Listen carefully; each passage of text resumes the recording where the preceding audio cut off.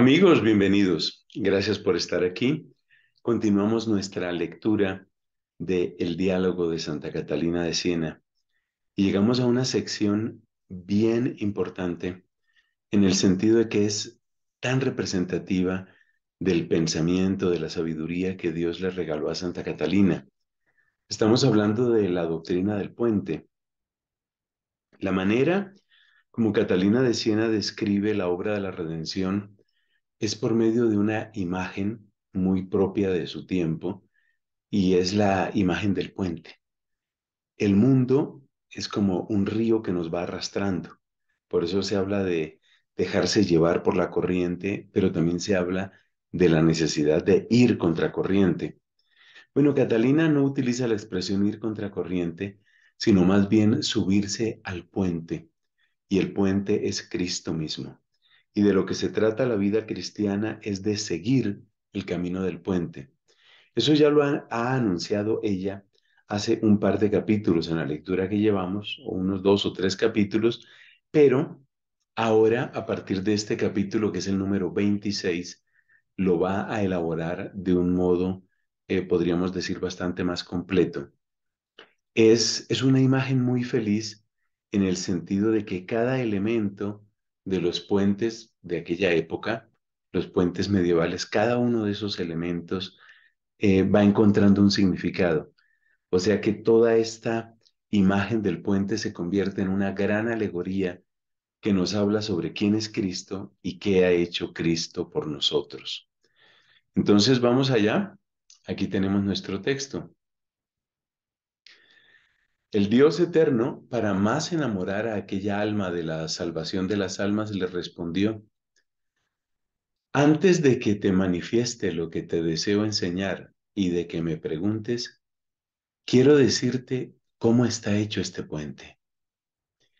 Te manifesté que va del cielo a la tierra, es decir, por la unión que Dios ha realizado con el hombre a quien formé del barro de la tierra.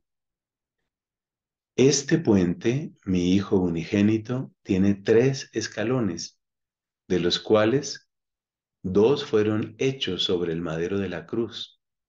En el tercero sentí la gran amargura al darme a beber hiel y vinagre. En estos tres peldaños reconocerás los tres estados del alma de que te hablaré después.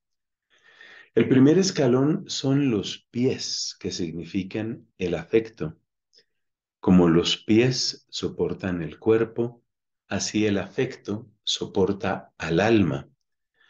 Los pies sujetos constituyen el peldaño para llegar al costado, donde se manifiesta el secreto del corazón.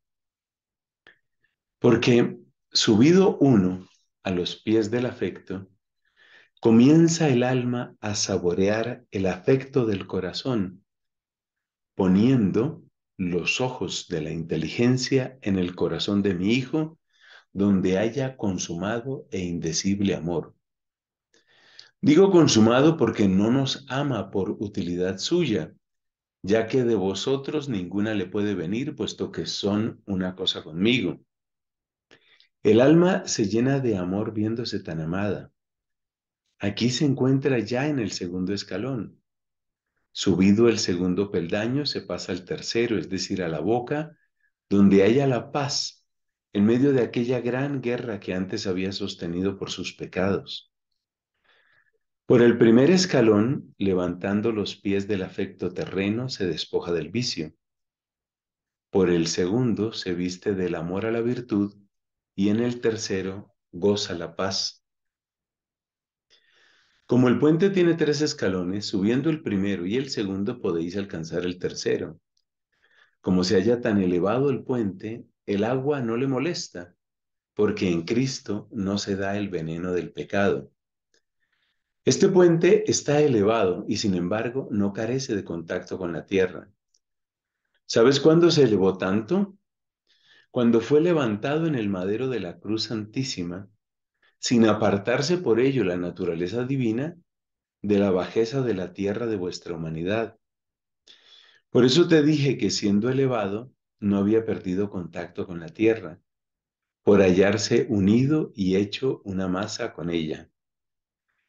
Nadie hubiera podido caminar por el puente mientras no fuera edificado, y por ello dijo Cristo, cuando sea elevado, todo lo atraeré a mí. Viendo mi bondad, que los hombres no podían ser atraídos de otro modo, le mandé que se elevase sobre el madero de la cruz, haciendo de él yunque en que tomase forma el Hijo del género humano, para quitarle la muerte y restituir el hombre a la vida.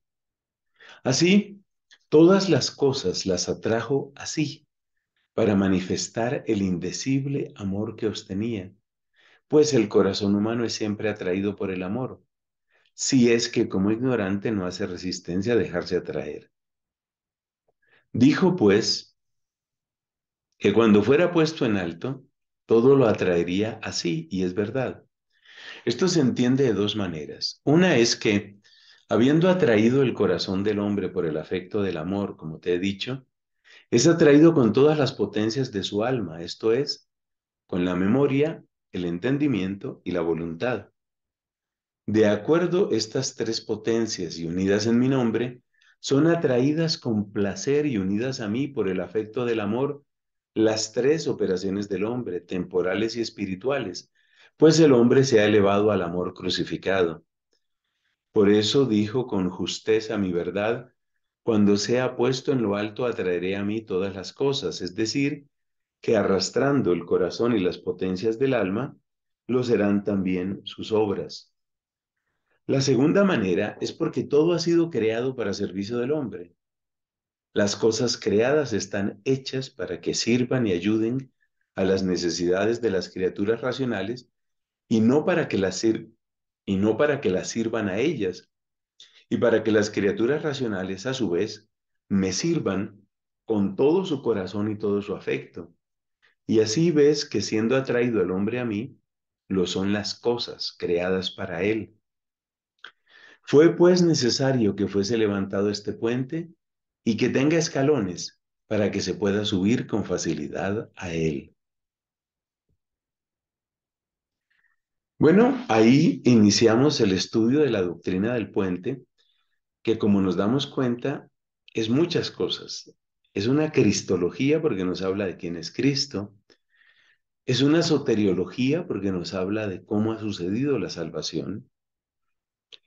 Es también una teología espiritual, una teología de la espiritualidad cristiana, porque nos muestra el avance hacia Dios y es también una descripción del drama mismo del mundo, es decir, de lo que sucede en el mundo y sucede en la iglesia.